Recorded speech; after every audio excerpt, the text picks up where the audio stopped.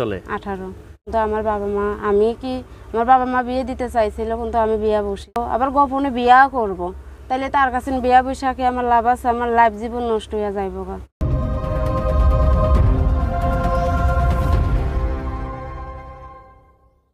সুপ্রিয় দর্শক, আসসালামু আলাইকুম। দেশে এবং দেশের বাইরে এই মুহূর্তে যে যেখান থেকে আমাদের সঙ্গে আছেন, আপনাদের সকলকে প্রীতীয় আন্তরিক শুভেচ্ছা জানিয়ে শুরু করছি আমাদের নিয়মিত অনুষ্ঠান, জীবনের গল্প। সম্মানিত দর্শক শ্রোতা, আমরা বিভিন্ন সময় বিভিন্ন অসহায় নারী নারী উদ্যোক্তা এবং সমাজে যারা অবহেলিত, নির্যাতিত নারী আছে, তাদের গল্পগুলো তুলে ধরার চেষ্টা করি। তো আজকে আমাদের ক্যামেরার সামনে একজন বোন আছে, খুব রূপসী এক আপু। তিনি একবারে সাজুগুজু করে আসছেন ক্যামেরার সামনে? আসলে কেন আসলেন? কি তার সমস্যা? এবং সেই বিষয়গুলো আমরা জানব এবং এটাও জানব যে আসলে তিনি কি উদ্দেশ্যে আসলেন। আসসালামু আলাইকুম। ওয়ালাইকুম আসসালাম ভাইয়া। কেমন আছেন আপা? আছে আল্লাহ রাখছে ভাই। আপা শুরুতে একটু আপনার পরিচয়টা বলেন। আপনার নাম কি? নাম মেঘলা। মেঘলা আপা। আচ্ছা খুব সুন্দর নাম। মেঘলা আপা পরিবারে কে কে আছে? বাবা আছে মা আছে ছোট একটা ভাই আছে আর আমি। আর কে আছে? বাচ্চা কাচ্চা নেই। না বিয়ে হয়নি স্বামী নেই? বিয়ে হয়নি। আচ্ছা তো বিয়ে না আচ্ছা ঠিক আছে। আচ্ছা তো বিয়ে শাদী করেননি কেন?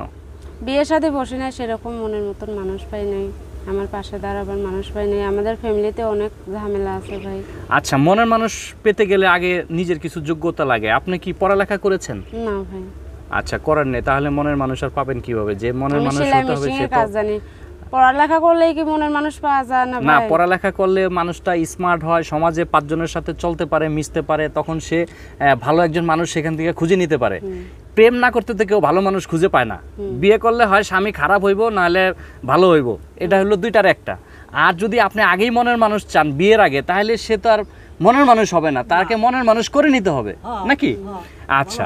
তো আপনার আর কে কে আছে পরিবারে? আর কে আছে? পরিবারে আমার বাবা আছে মা আছে বাবারা রিক্সা চালায় হ্যাঁ। মারা ভাই মানুষের বাড়ি কাজ কাম করে। আমি সেলাই মেশিনে কাজ করতাম। মানুষের সেলাই মেশিনে কাজ করতাম। পাঁচ বছর পর্যন্ত কাজ করছি মানুষের সেলাই মেশিনটা নিয়ে গেছে বাবা সেলাই ইসি কাজ করে হুম। রিক্সা চালায় রিক্সা চালায় চালায় বাবাটার কোমরের সমস্যা হয়েছে বলে বাসায় বুড়ে আছে মা মানুষের বাড়ি কাজ কাম করে আর কাজ কাম করে কয় টাকায় উদ্ধার করে আমাদের খাওয়াইব।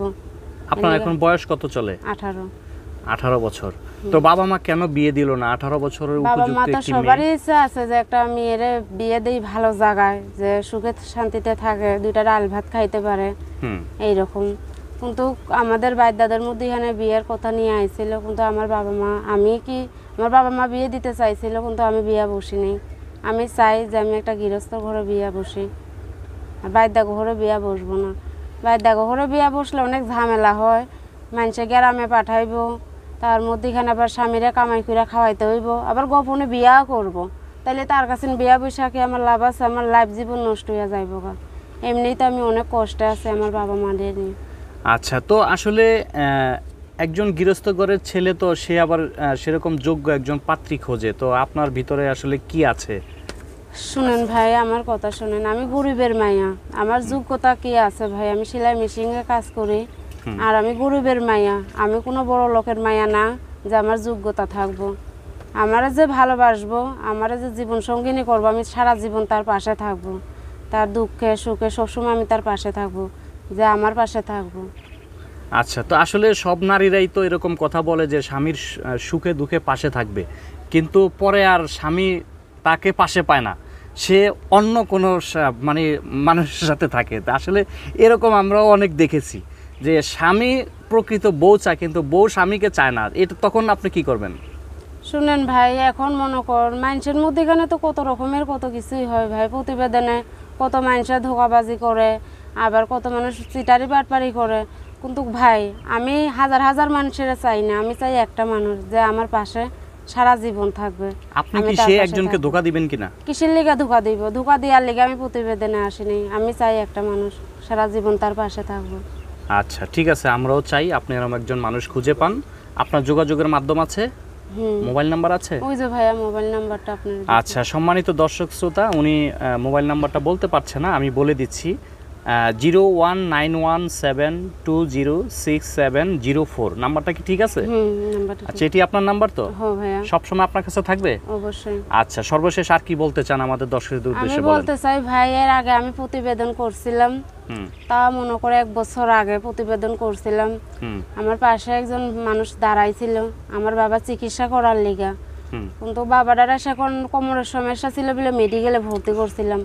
করোনার সেই ভাইটা আমার বলল যে আমি তোমার বাবার চিকিৎসা করার নিগা আমি টাকা দিব। বলছে। বলো না তে আমি বলছি তার লগে অনেকদিন পর্যন্ত সম্পর্ক করছি।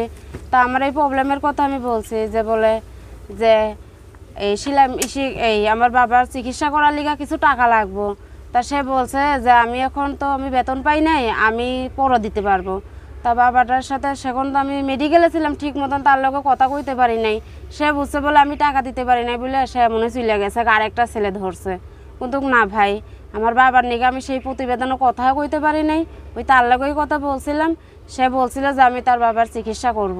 কিন্তু ভাই সে চলে গেছে গা, আমি তার লগে আর কথা কইতে পারিনি আচ্ছা তো সম্মানিত দর্শক শ্রোতা, আপনারা যদি আমাদের সঙ্গে এই মুহূর্তে থেকে থাকেন, সেই দর্শক যদি আপনি হন, তাহলে ওনার সাথে আবার যোগাযোগ করবেন। আমরা নাম্বারটি ভিডিওতে বলে দিয়েছি। তো ভালো থাকুন, সুস্থ থাকুন এবং আমাদের সঙ্গে থাকুন। পরবর্তী আপডেট পাওয়ার জন্য আমাদের চ্যানেলটি সাবস্ক্রাইব করে আমাদের সঙ্গে থাকুন। আল্লাহ হাফেজ।